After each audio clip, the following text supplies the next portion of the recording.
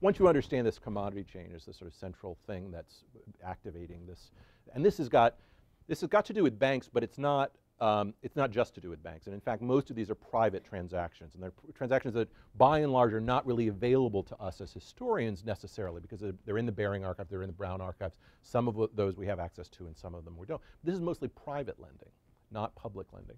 Um, what Jackson does with the specie circular is he's concerned about the doubling the price of cotton in the space of between 1830 uh, and 1836.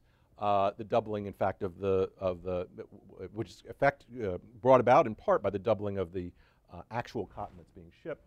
The specie circular says that those Dixies and those other state banknotes cannot be used to buy uh, land. That land has to be paid for with with specie.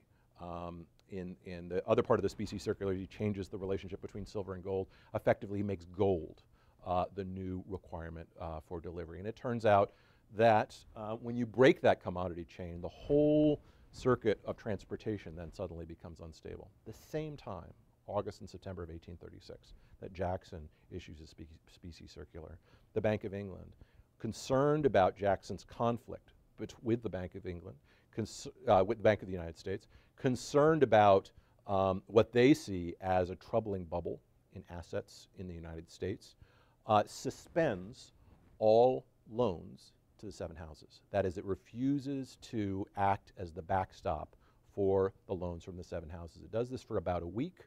Brown rushes to Threadneedle Street and convinces the Bank of England uh, to very quickly, uh, and I'm relying here on Jessica Lepler's uh, dissertation, um, a very, very good, very fine dissertation for this sort of understanding of this side of this panic. She points out that this is critical to understanding why this, uh, why this uh, collapse is happening on the, on the British side of this. But basically what happens is at two different places along the commodity chain, there's the uh, normal relationships are severed. Uh, not surprisingly, about three months later, uh, which is, these are 90-day bills of exchanges, so it's not surprising that it would take about 90 days for this to happen. What we see is a drop in the price of cotton by 40% and the beginning of a serious uh, financial crisis. Jackson's War in the Bank of the United States starts in 1832 roughly and extends all the way through 1837. Um, is uh, I, I, I, have a sort of a, uh, a different, a, a, fairly different take on this. Um, one of them is, of course, this is a replay of Jefferson's war on the first Bank of the United States and the and the, the, the battle against a white whale that is, you know, the, the institution, the second bank of the United uh, States, is very much like Jefferson's war on the first bank. And, and it, it, raises a sort of political um, significance of the Democratic Party in, increasingly. Um, but Jackson, who is cannot be trusted uh, to be about very much. Uh, the most paranoid man uh, and dangerous man probably in, in the United States as a president, um, is right about the Second Bank of the United States in just the way that Jefferson was right about the First Bank of the United States. Nicholas Biddle, up here on the left, in 1832, he hears that Jefferson is, sorry, in 1831, he hears that Jefferson, uh, in, in his message to Congress, uh, that Jefferson wonders about the constitutionality of the Second Bank of the United States. Biddle then reaches out to a man named James Watson Webb, in the lower right, the New York uh, uh, Commercial and Advertiser, I think is the name of his newspaper. It's one of the highest circulating newspapers in the country at this point. And James Watson Webb is in Jackson's inner circle. And through a third party, he provides loans. Uh, James Watson Webb is in some serious financial trouble and uh, provides loans directly to James Watson Webb and uh, the New York uh, Commercial and Advertiser. And two days later, Webb's paper comes out against, uh, in favor of the rechartering of the Second Bank of the United States and opposed uh, to Jackson. Biddle then, through a third part, second party, uh, then tries to buy other newspapers uh, and is rebuffed by some of them and, and accepted by others.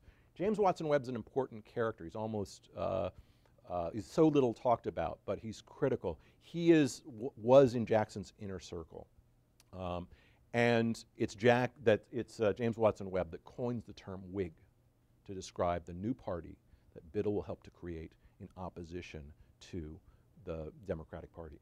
And, and James Watson Webb is, is the kind of intellectual architect of what, what will become uh, the Whig Party. So, so um, you know, Jackson is not far wrong that the Second Bank of the United States, fearing Jackson, is bound to, determined in a way, to create a party that will um, provide opposition to him. The, the thing that ultimately makes the, the Whig Party successful and powerful is, of course, the Panic of 1837, which happens just as Jackson is leaving and Van Buren is, is coming in. And that sort of build, in many ways builds a constituency uh, for the Whig Party that opposes him. Um, the Second Bank of the United States does not last a whole lot longer uh, than 1837. Uh, if, you, if you'll remember from uh, the U.S. survey, uh, basically Jackson removes the deposits from the Second Bank of the United States. He deposits them in what are called the pet banks.